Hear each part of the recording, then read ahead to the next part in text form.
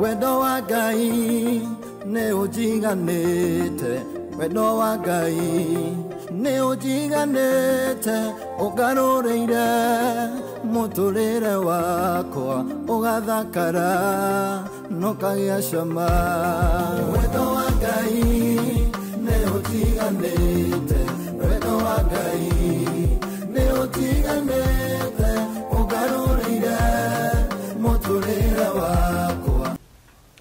Bwana Yesu asifiwe. Jina langu ni Pastor John. Namshukuru Mungu ni kwa sababu ya nafasi nyingine Mungu ametupatia tukaweze kusikia mausia yake katika jina la Yesu Kristo. Namshukuru Mungu ni kwa sababu ya zile comment ambazo zime- mmekuwa mkiandika ile eh, kwa YouTube na pia wale ambao wamekuwa mkinipigia simu, wengine wamekuwa wakini WhatsApp.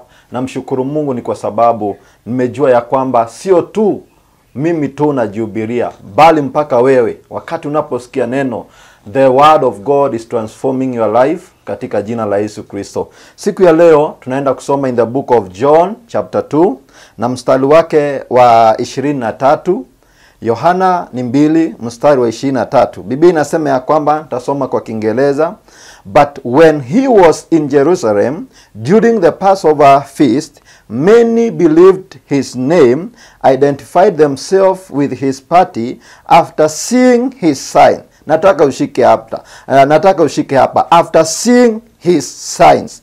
Wonders miracles which he was doing. Verse 24 inasema ya kwamba but jesus for his part did not trust himself to them because he knew all men verse 25 tutamalizia hapo. And he did not need anyone to bear witness concerning man for he himself knew what uh, what was in human nature uh, what was in human nature. Wacha tuombe.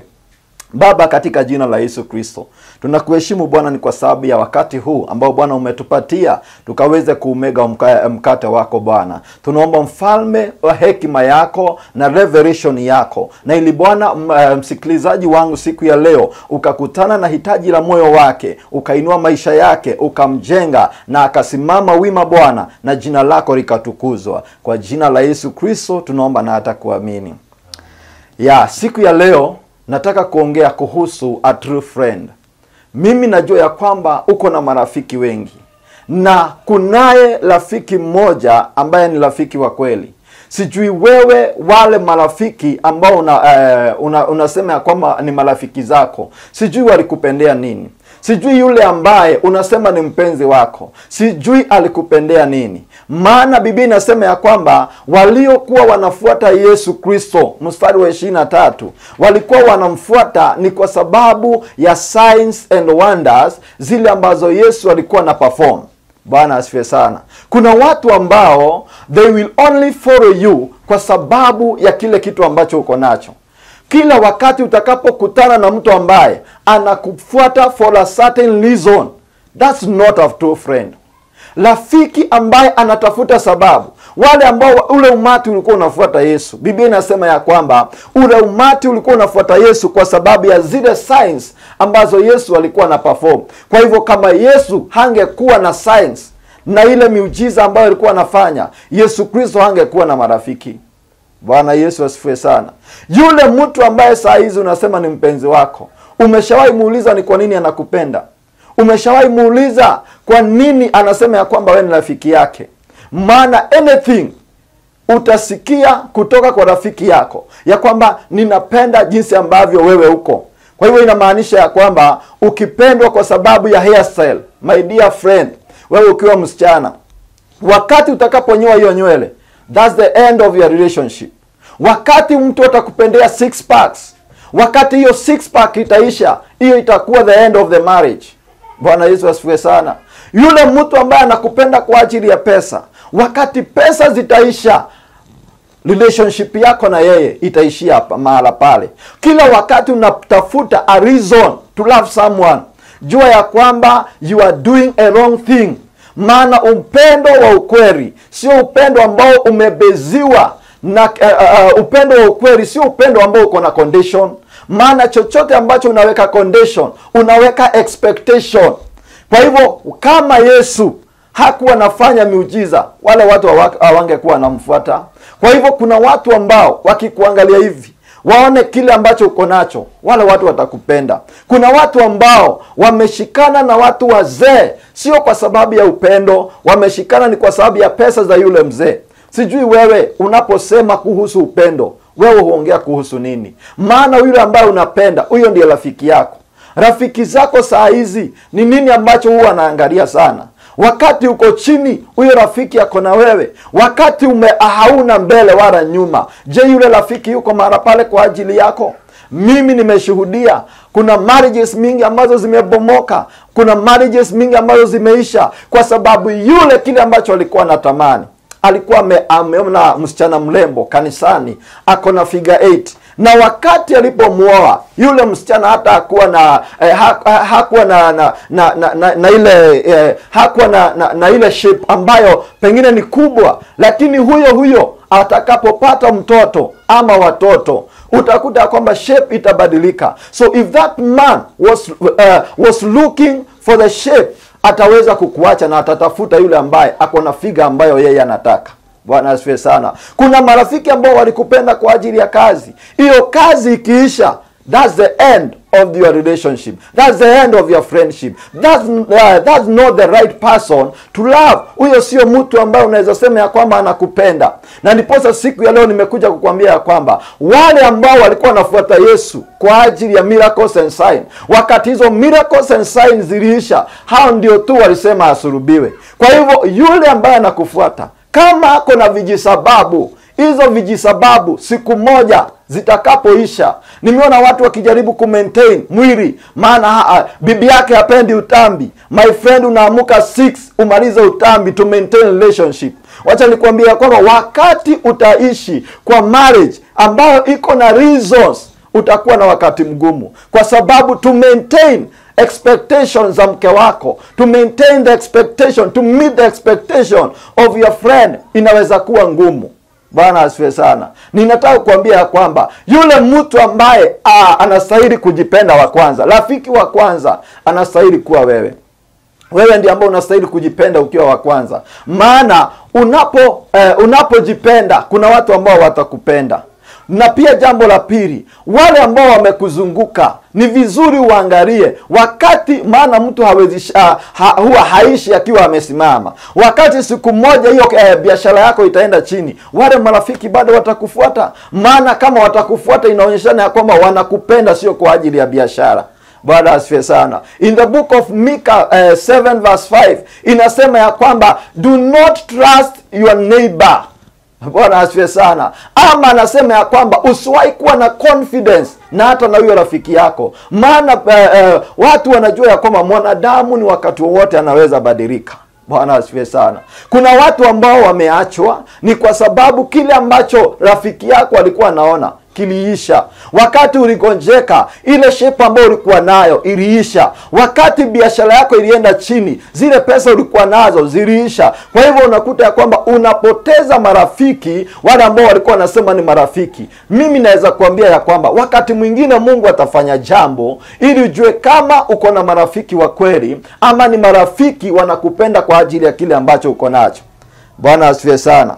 Biblia inasema ya kwamba yesu kristo hata kama alifanya miujiza na watu wakamfuata kuna kitu kimoja biblia inasema ya kwamba in verse 25 ya kwamba but jesus did not trust himself to them kuna laana kubwa na kuna kilio kikubwa na kuna majuto makubwa. Wakati wowote utaaminia hao marafiki maisha yako. Maana hujui rafiki alipokuja alikuwa uh, alikuwa anataka nini. Maana akikipata anaweza akaondoka. Akikikosa anaweza akaondoka. Lakini kama you have a genuine friend a genuine friend wakati yule anakupenda wakati wewe uko juu wakati ambao uko chini wakati ambao hauna mbele wala nyuma wakati umebarikiwa wakati umeinuliwa huyo rafiki yako ako pamoja na wewe. Bwana asifiwe sana. Kuna watu ambao mimi ninajua ya kwamba wakati bwana yake aligonjeka alimwacha kwa kitanda na akapotea na akasema ya kwamba siwezi kaa na huyu jamaa ambaye ni paralyzed. Mimi siwezi lea mtu mzima. Na yule mtu yule eh, yule msichana akamwacha bwana yake na akaenda nyumbani.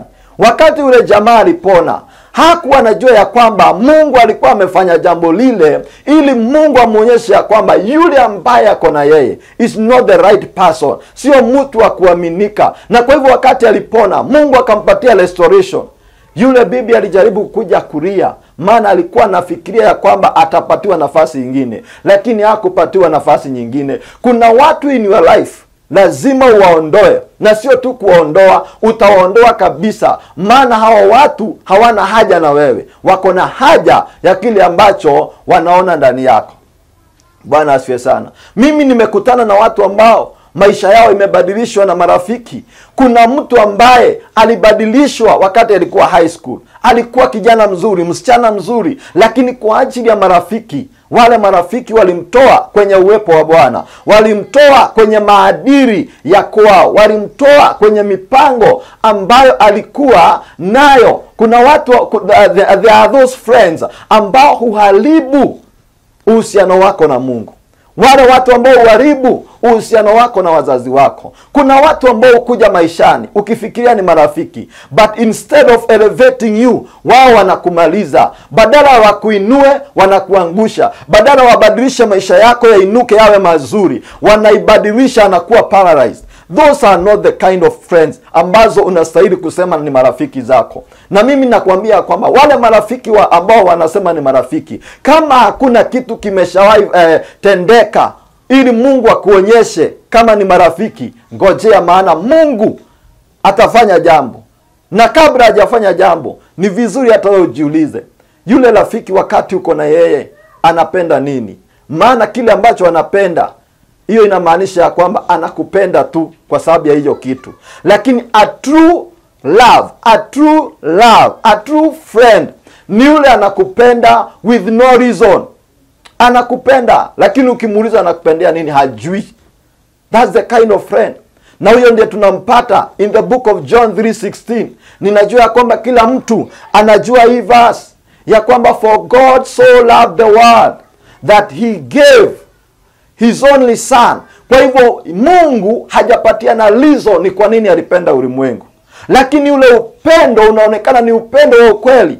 Maana thousand reasons mungu ako nazo kwa ajili yetu anatupenda. Kwa hivyo hana specific yeye hajasema ya kwamba nilipenda ulimwengu maana ulikuwa mzuri. Sijapenda ulimwengu maana watoto wangu wako pale. Sijapenda ulimwengu maana nataka wanitumikie. Yeye anasema ya kwamba for god so the world. Kwa hivyo mungu hana specific reason why alimtoa eh, mwana wake wa kipekee. Ningetaka kukwambia ya kwamba the only friend will never depart from you. Yule ambaye hata, uh, hata uh, in every day in every situation he will never disappoint you. Ni mungu peke yake. God is the only true friend. And this friend ni vizuri jua ya kwamba mungu wetu unapoandamana na yeye ni rafiki ambaye usiku wakati umelala yeye halali yeye anakuangalia. Huyu rafiki david akasema ya kwamba the lord is my shepherd i shall not want. Ukitembea na huyu rafiki hakuna wakati utapungukiwa. Maana wakati unapungukiwa he provides he is jehova jaile yeye ni mungu ambaye anapeana. Maandiko inasema ya kwamba he is jehova rafa wakati wewe ni mgonjwa anakutafutia matibabu anakuponya. Je marafiki ambao unasema ni marafiki nini ambao wanaweza fanya katika maisha yako? Nini walikufanyia ukaona ni marafiki wa ukweli bwana yesu asifiwe sana. Ni vizuri ujue ya kwamba kuna marafiki lakini wote sio marafiki wa kweli.